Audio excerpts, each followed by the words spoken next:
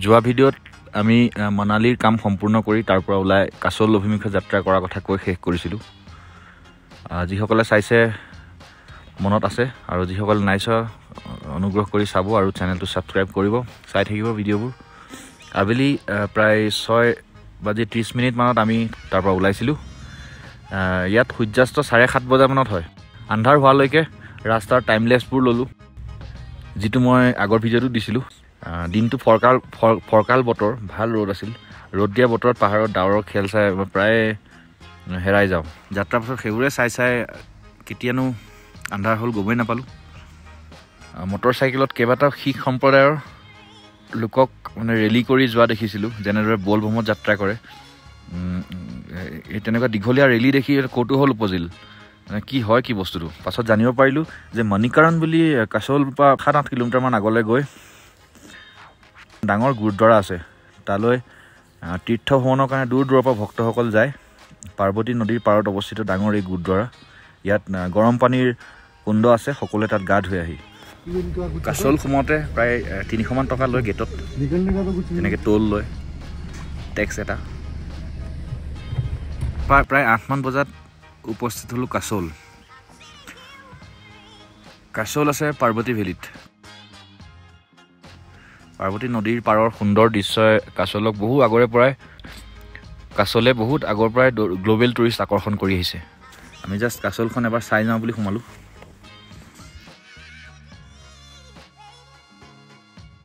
নামিয়ে দেখিলোঁ দুগৰাকী ইজৰাইলী কাপোৰ। দুয়ো ৰাস্তাত গীটাৰ আৰু যাৱতীয় সৰঞ্জাম লৈ গান গাই ৰাস্তাৰে পাৰ হৈ যোৱা লোকক আমোদ দিছে। যি পাৰে পইচা দি থৈ গৈছে তেওঁলোকৰ গীটাৰৰ কভাৰটো থৈ দিছে পইচা সংগ্ৰহ কৰিবলৈ। দেশী বিদেশী পৰ্যটকৰে ভৰি থাকে কাছল এটা বেলেগ এটা নকুল মিনৰ পৰা পাগল গৈছে কাছলৰ দোকানবোৰ সামগ্ৰীবোৰ দেখি। ইফালে নিহালে পাৰ্কিং বিচাৰি সিফাল সিফাল কৰি আছে গাড়ীখন। ইয়াত মানে পাৰ্কিং নাই পাহাৰীয়া জেগাত সাধাৰণতে পাৰ্কিং পোৱা নাযায়। তেওঁ বহুত দূৰলৈ গাড়ী থ'বলগীয়া হয়। আমি সামগ্ৰীবোৰ চালোঁ। যিসকলে নাই যোৱা তেখেতসকলক দেখুৱাই দিছোঁ। দুই এটা ফুটেজ ওচৰত। মানে ইয়াত কি কি পোৱা যায়। এটা হেড ভাল লাগিছে। হেডটো এনেই কেমেৰা ইয়াত আমিৰৰ নাই কাৰণে কেমেৰা ফ্ৰণ্ট কেমেৰাতে চালোঁ। কৰি তাৰ ভিতৰত সেইটো বৰ্তমান আছোঁ কাছল। কাছলত অলপ বজাৰত চালোঁ। বজাৰত একো বস্তু মানে পচন্দ হৈছিলে কিন্তু দামটো বেছি হ'ল বেছি ক'লে। সেইকাৰণে নিকিনিলোঁ। এতিয়া কিবা এটা খাই লওঁ। এতিয়া ম'ম' পাইছোঁ ম'ম' খাই লওঁ। চিকেন থোপা। এখন এই আণ্টিৰ হোটেল হয়। চিকেন থুকপা দুটা। ভেজ থুকপা এটা আৰু এটা চিকেন ম'ম' এয়া আণ্টিয়ে আনি দিলে। কেনেকুৱা ম'ম'টো? বঢ়িয়া।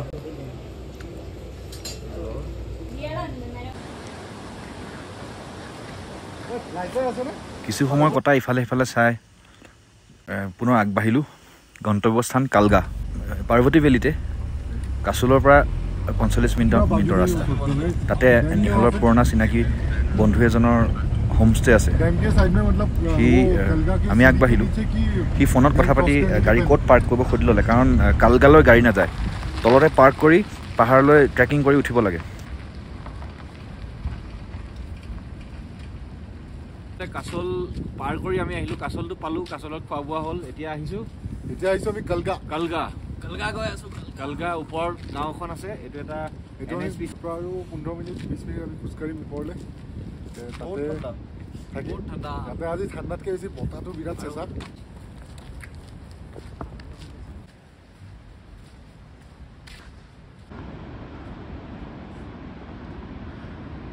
এইটো যাব পাৰি ইফালে। ইফালে উঠি ইফালে পাম। হে? আকৌ যদি ওপৰৰ পৰা ঘূৰি আহিব লাগে। মানে আগতে এইবিলাক নাছিলে পানীবিলাক সোমাই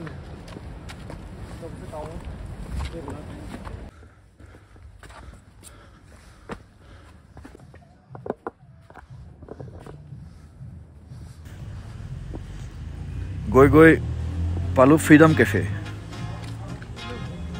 তাত ইতিমধ্যে কেইবাজনো টুৰিষ্ট আছিল। কেফেটেৰিয়া একদম ৰঙীন হৈ আছিল। বেলেগ এটা পৰিৱেশ। মিউজিক ফুড ড্ৰিংকছ জইণ্টছ মানে কালি মানালীত এপলৰ এটা ৱাইন কিনিছিলোঁ। কালি খোৱা নহ'ল লৈ আহিলোঁ। মই আজি সেইটোকে ট্ৰাই কৰিম। ফ্ৰীডম কেফেৰ খানা কিন্তু মানিব লাগিব। আমি তাৰে এটা স্পেচিয়েল চিকেন তেখেতসকলে নাম দিছে গাৰ্ণফাৰ চিকেন আমি খালোঁ গাৰ্ণফাৰ চিকেন বঢ়িয়া সঁচাকৈ গাৰ্ণফাৰ আছিলে। তেওঁলোকৰ স্পেচিয়েল আৰু বিৰিয়ানী খাই ৰাতি সমাপ্ত কৰিলোঁ।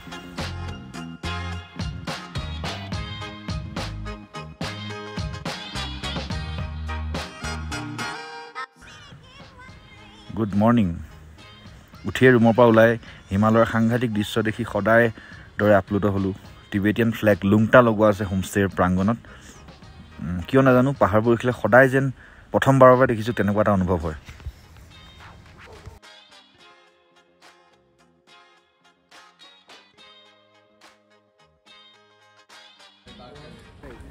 এখন ফ্ৰীডম কেফে কালি য'ত আমি আছিলোঁ। আৰু এই এই ৰুমটোতে এইটোৱে হ'ল কেফেটেৰিয়াটো ইয়াতে আমি কালি ৰাতি বহি পাৰ্টি চাৰ্টি কৰিলোঁ। বৰ ধুনীয়া জেগা। কালগা আহিলে আহিব আপোনালোকো। এতিয়া হ'ল ব্ৰেকফাষ্ট টাইম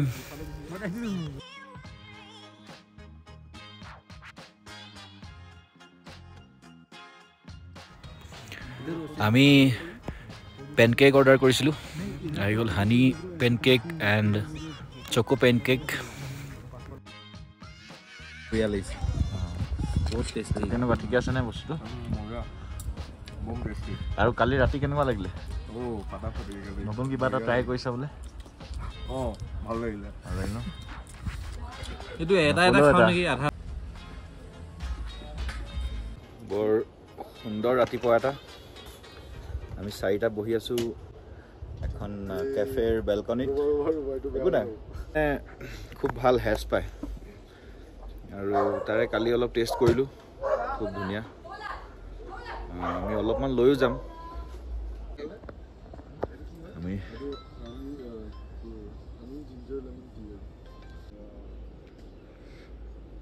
প্ৰায় এক ঘণ্টা ধৰি আমি বহি আছোঁ ইয়াত।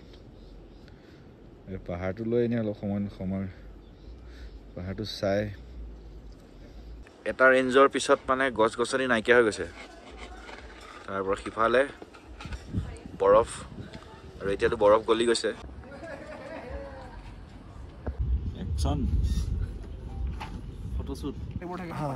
এইটো এটা ইজৰাইলী ডিছ নামটো ফালাফল লগত পিতা এই ৰুটিৰ নিচিনাটোক পিতা বুলি কয়।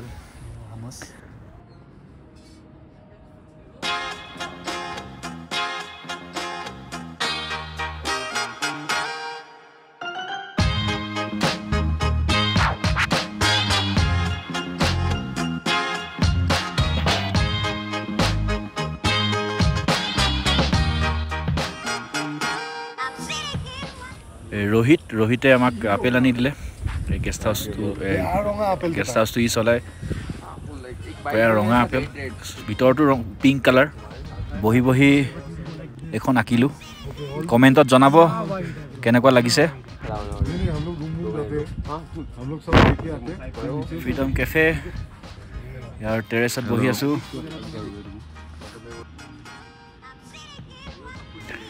কিছু দেৰি কিছু দেৰি বহি তাৰে সকলোকে আমি বিদায় মাগিলোঁ।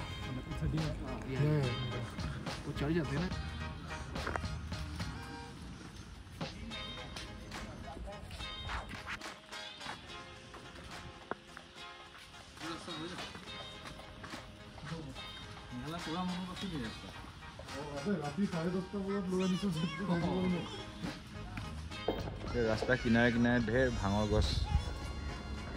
আমি ভাং নাখাওঁ বুলিয়ে নহ'লে চব খাই দিলোঁ আপেল খাইছোঁ খালি। আপেল গছ ঢেৰ আছে।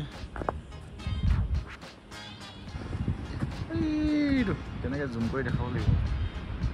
এই তাত আমাৰ গাড়ীখন পাৰ্ক কৰা আছে। এই ক'লা কিবা এটা নেদেখি আৰু কেমেৰাত মানে ষ্টিফ ট্ৰেকিং ৰুট নিহালে আগতে আহিছিলে সি জানে। এইফালে শ্বৰ্টকাট দি লৈ গৈছে আমাক।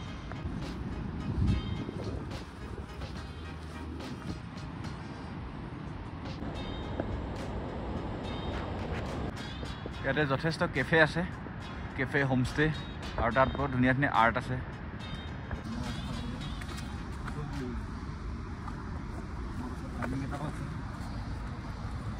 খতৰনাক ৰাস্তা। এইবোৰ জেগাত বিদেশৰ পৰা বহুত মানুহ আহি থাকে। তেওঁলোকে য়োগা কৰে অলপ প্ৰকৃতিৰ লগত অন্তৰংগ মুহূৰ্ত কটায় হিমালয়ত। পৃথিৱীৰ ভিতৰত এটা ইউনিক জেগা হিমালয়। ইয়াতে বহুত বহুত তেনেকুৱা ধৰণৰ স্পট আছে। তাৰে ভিতৰত কালগাটো এটা কাচল কাচলৰ পৰা অলপ ওপৰলৈ উঠি কালগা আছে। কালগা এখন গাঁও হয়। ইয়ালৈ গাড়ী নাহে। আমি যোনটো জেগাত আহিছোঁ তালৈ গাড়ী নাহে। গাড়ী আমি তলত প্ৰায় এক কিলোমিটাৰমান তলত ৰাখি থৈ আহিছোঁ।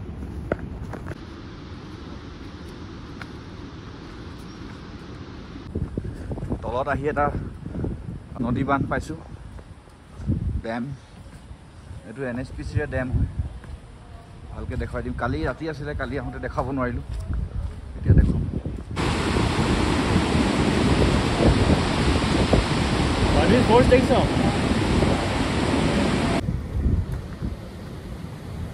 তাৰ অপজিট ছাইডত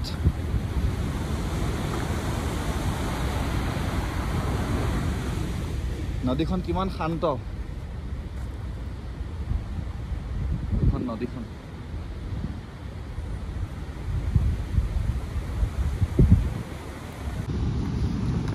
অলপ আগতে মাক ভিডিঅ' কল কৰি দেখালোঁ জেগাবোৰ মাক ক'লোঁ যে ইয়াতে এন এছ পি চিৰ বান্ধ এটা আছে মায়ে ক'লে ইয়াতে আকৌ ন' ডেম লিখি নাহিবি পালগা ডেম দেখা নাপাম বাকী তাৰটো এই ৰাস্তাই এইফালে ওপৰত ট্ৰেকিং কৰি কৰি কৰি গৈ পাহাৰটোৰ পিছফালে কালি আমি আছিলোঁ। আমি সোঁফালে গৈছিলোঁ। বাওঁফালে আছে ট'চ আৰু ক্ষীৰগংগা কালগা পাল পুলগা আৰু তুলগা। ইণ্টাৰেষ্টিং নাম।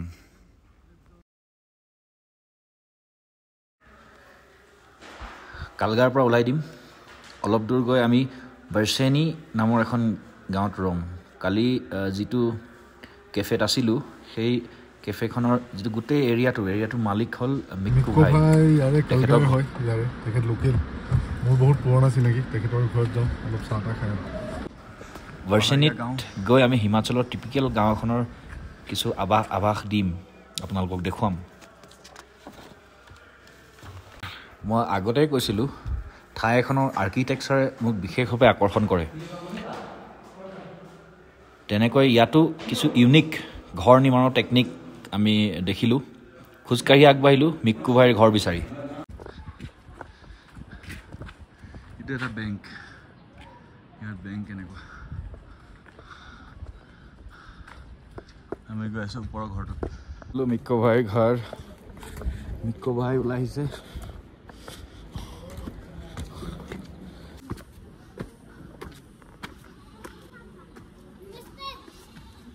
নমস্তে हेलो सांघर हेलो भैया आपका बहुत सुन रहा था हाँ। मजा पूरा गांव আচ্ছা তো জেগা ভাবিলোঁ চবকে দেখাই দিওঁ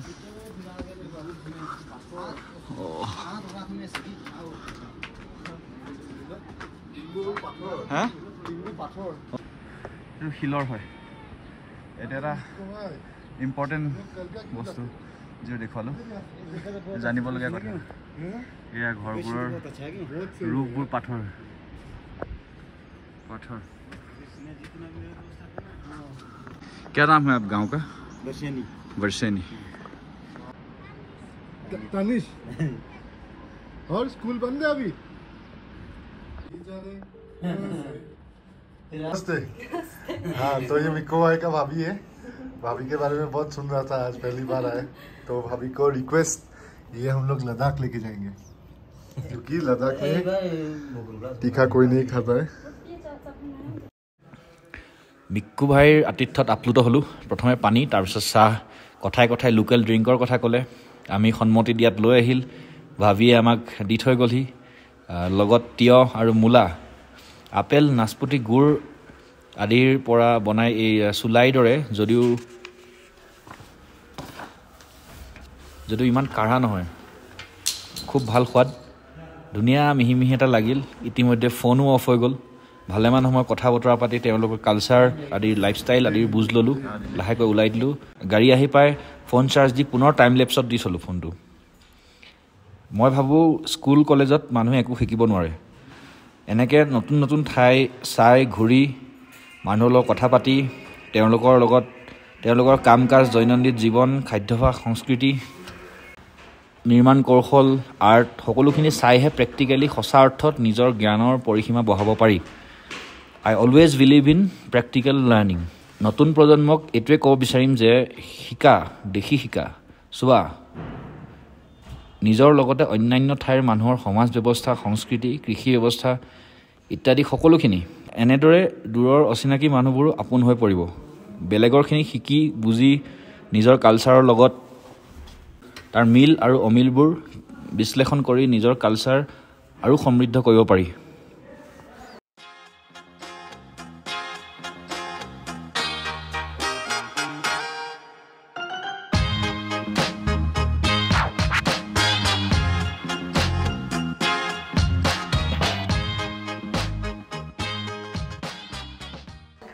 ৰাতি ন বজাত বেক টু মানালী কাইলৈ পুৱাই আছে আমাৰ লাডাখ যোৱাৰ প্লেন যিহেতু ৰাতি ৰাতি ওলাব নোৱাৰোঁ সেয়েহে মানালীতে থকাৰ থকাটো কৰিলোঁ। সুশীলৰ তাতে। সুশীলে আমাক অল্ড মানালীৰ এখন কেফেত লৈ গ'ল। তাতে আমি একেলগে ডিনাৰটো কৰিলোঁ। কৰি অলপ পিছত আমি আকৌ হোমষ্টেলৈ ঘূৰি আহিলোঁ। কাৰণ আমাৰ কাইলৈ যাত্ৰাৰ কাৰণে পেকিং কৰিবলৈ আছিলে। কাইলৈৰ কাৰণে গাড়ীত সকলো বস্তু পেকিং কৰি tip top ready all done গোটেই ৰাতি মই নুশুলোঁ কাৰণ ইউটিউবত মোৰ ভিডিঅ'টো দিবলগীয়া আছিলে। তাৰ বহুতখিনি কাম আছিলে সেইখিনি কৰিলোঁ। চাৰিটাত শুইছোঁ ছটাত উঠিবই হ'ল। অৱশেষত ইমান দিনৰ পৰা আমি যিটো দিনৰ কাৰণে ৰৈ আছিলোঁ সেই দিনটো আহি পালে। আমি পূৰা গাড়ী ফুল লোডেড আমি ওলাইছোঁ লাডাখ। আজি মানে মেইন যিটো জাৰ্ণিটো আমাৰ আৰম্ভ হ'ব আমি মানালীত কেইদিনমান কাম আছিলে কাৰণে ৰ'বলগীয়া হ'ল এতিয়া আমি ওলাই দিছোঁ লাডাখ আচ্ছা লগা মিলকে सेम ईयर ब्रो हाँ मिलते रहेंगे फिर आएंगे वापस आते समय मिलेंगे हाँ आप अभी- लोग भी बहुत अच्छे मज़ा आया आप लोगों के साथ में okay then bye bye bye bye bro Sonam dhaba Sonam ধাবাৰ chowmein thukpa momo মজা হয় মানালীৰ বেষ্ট থুপ্পাটো reviewed by mein and Nihal veg veg मज़ा এদিন খাই গ'ল আজি আমাক আহি খোৱালে क्या सबसे बेस्ट थुप्पा हम लोग फिर से हम आएंगे लोग जो नॉन वेज फैन है हम लोग इधर वेज थुप्पा खाने आते हैं तो सोच लो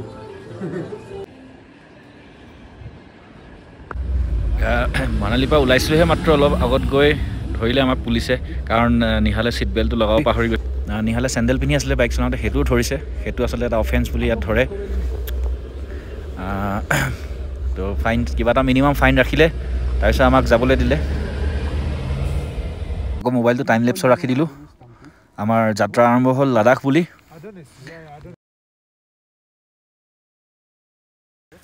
কিছু দূৰ গৈ আমি অটল টানেল পাম।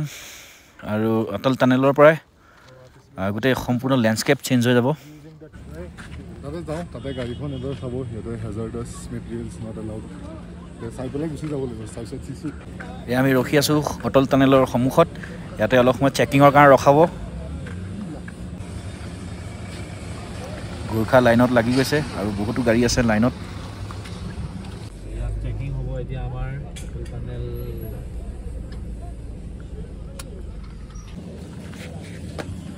গাড়ী চেক হ'ব এতিয়া। লাডাখ।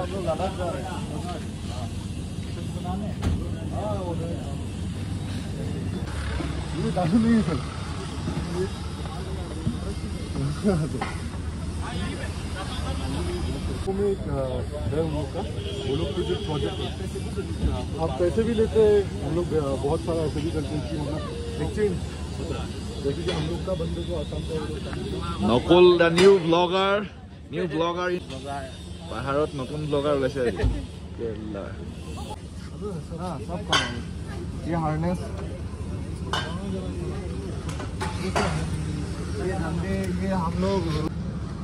চলো হৈ গ'ল চেকিং আমি পাছ আমি পাছ হ'লোঁ চেকিঙত আমি পাছ হ'লোঁ কাৰণ আমাৰ লগত একো বেয়া বস্তু নাই